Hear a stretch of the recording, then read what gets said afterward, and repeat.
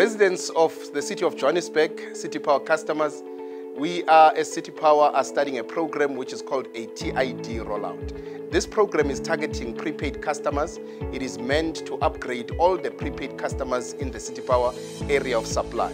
What is going to happening is that on the 24th of November uh, 2024, all prepaid meters, if they are not upgraded, will stop working. So to avoid your meter from stopping to work, please allow us in your property so that we can be able to upgrade your meter. Our technicians will be going into different properties to go and upgrade the property, property by property. But we understand that there might be some people who want to take advantages, especially the criminals in society.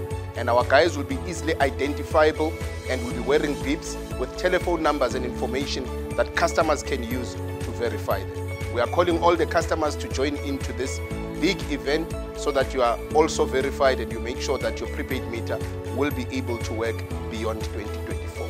Be TID compliant.